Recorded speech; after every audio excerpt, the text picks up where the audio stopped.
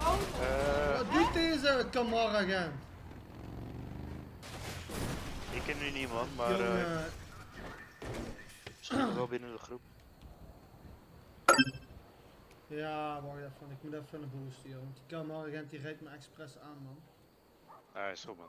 Yo, Oké. yo, yo, yo.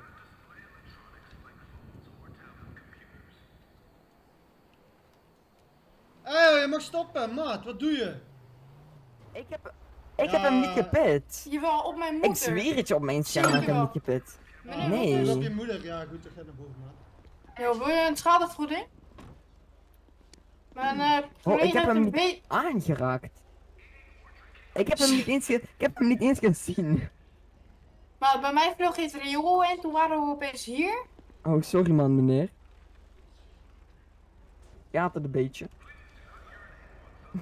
Alsjeblieft. Zeg maar deze. Misschien ze wel... Meneer,